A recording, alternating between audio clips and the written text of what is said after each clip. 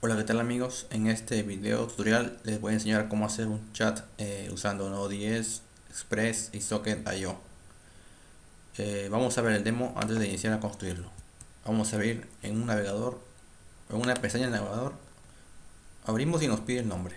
Le voy a decir que me llamo Freddy. Y aquí aparece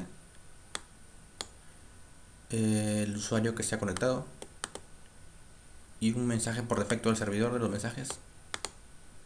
Ahora desde otro navegador voy a de otra pestaña abro el mismo servidor, la misma dirección. En este caso me voy a llamar Daniel.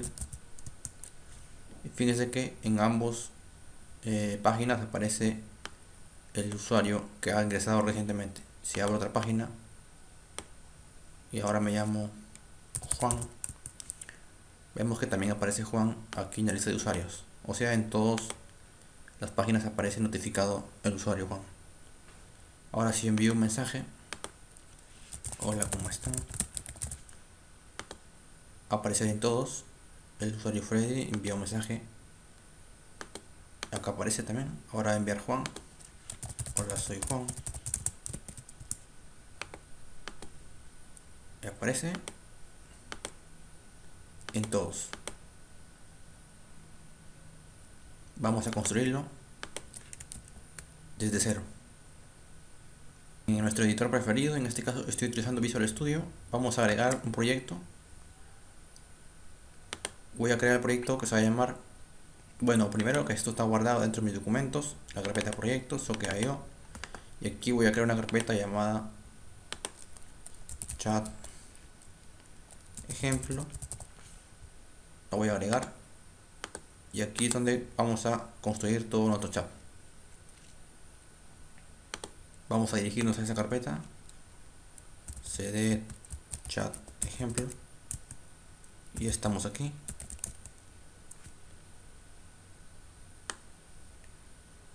Bien lo primero que vamos a hacer es crear un archivo .json el cual va a tener todas las dependencias como es socket.io, express y otras librerías como body parser vamos a inicializar esto con npm init "-y". Bien, si no tienen instalado Node.js, npm, les recomiendo que se instalen Composer. Le va a instalar todo, inclusive Git, MySQL, PHP, eh.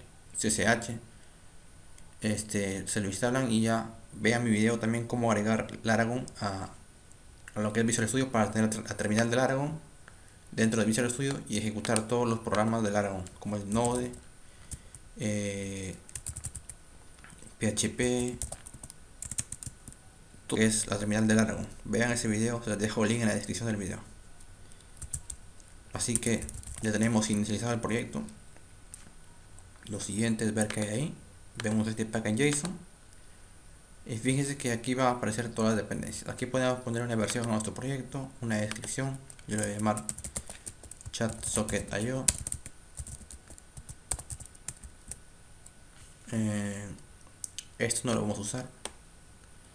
Y aquí se van a agregar las dependencias. Ahora voy a vamos, a ver que vamos a instalar por primera vez express. Es lo primero que vamos a hacer. Vamos a poner npm install. Save express para poder crear páginas y que con Node.js estas las pueda eh, mostrar, ¿no? Porque con Node.js creamos el servidor y con Express manejamos las páginas. Instalar lo que es Express, vamos a ir al package JSON y fíjense que aquí aparecen las dependencias Express y se ha creado la carpeta Node Modules en donde va a estar guardado lo que es Express. Ahora sí vamos a crear nuestro archivo principal llamado server.js vamos a poner server.js y aquí lo primero que vamos a hacer es incluir express. Var express requiere express. Lo siguiente es lo que vamos a hacer una instancia de express. Vamos a llamar a esta variable var app igual express. Ya tenemos instanciado lo que es express a partir de aquí ya podemos decirle a este framework este qué servidor va a correr con él. Lo que vamos a hacer es que la variable var server igual app.listen vamos a poner puerto 3000 coma función flecha y le vamos a poner un mensaje. Console log coma y decimos address punto por. Función. Ya está. Ahora aquí un error. Ya. ejecutamos y ya está. Servidor corriendo en puerto 3000 vamos a ver al navegador. Y ya está. Si vemos el código fuente veremos que no hay nada. Bueno está eso. Pero este básicamente la página no hay una página aquí no estamos diciendo al servidor mira apunta a esta página para ello para que Express identifique la página principal vamos a tener que decirle eh, que sirva contenido estático o dinámico. En este caso lo que nosotros vamos a hacer es servir contenido estático.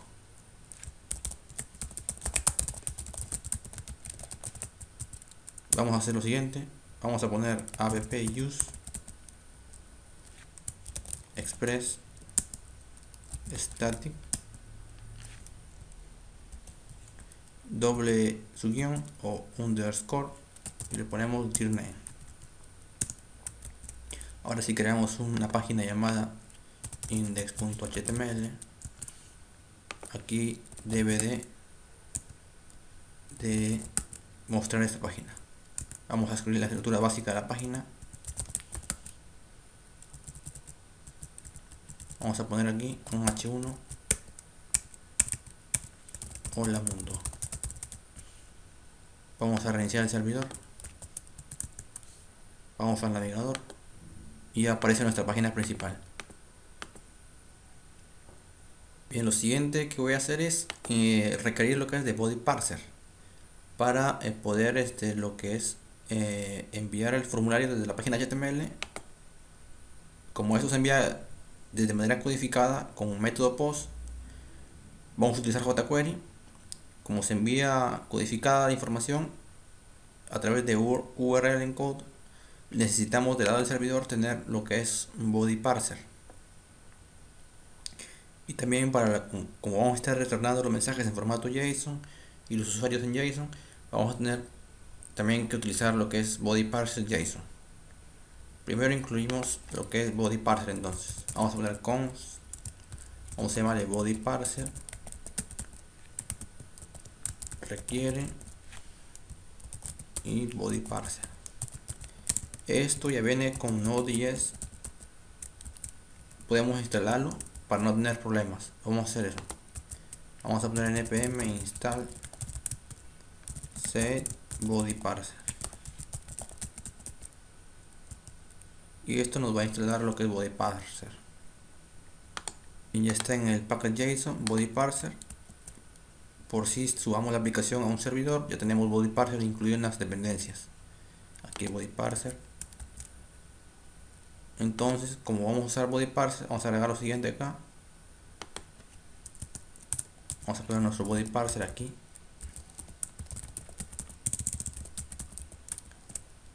vamos a decirle a la aplicación app use. Parser json. Lo siguiente es lo mismo app para url encode. App use body parser url encode.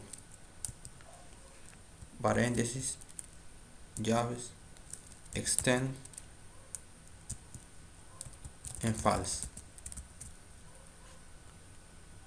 Para ver que no hay problemas, corremos el servidor. Y fíjense que está el servidor corriendo en el puerto 3000. Ahora ya tenemos nuestro parseador de contenidos JSON y métodos post o con un rolling code a través de body parser. Lo siguiente que vamos a hacer es ya incluir lo que es socket.io. Así que vamos a hacer npm install save socket .io. en el package JSON que socket.io está como dependencia. Ahora lo que vamos a hacer es incluir socket.io. Para ello vamos a usar primero este, la librería HTTP para, para hacer que socket.io escuche en HTTP. A HTTP le vamos a pasar la aplicación a través de la función server. Primero incluimos HTTP requiere. Ok aquí le vamos a decir server. Y le pasamos app. Pero app está abajo así que vamos a poner esto debajo. Y vamos a incluir socket.io vamos a llamar a socket.io como io requiere socket.io y le pasamos a HTTP. De esta manera, Socket.io queda, va a escuchar, va a estar pendiente de los eventos en este servidor. En lugar de decirle que sea en app, lo que vamos a decirle es que, esto sea en, en HTTP, que es una instancia del servidor, pero ahora escuchando con Socket.io. Vamos a reiniciar esto. Ejecutamos otra vez el servidor. Y fíjense que ahora ya está el servidor corriendo. Y tenemos socket.io eh, ejecutándose dentro de ese, de ese servidor. Y estará a la espera de conexiones. Voy a dejar el video hasta aquí. Nos vemos en el siguiente video en donde ya programaremos la página HTML. Vamos a incluir todas las librerías y recibir los mensajes.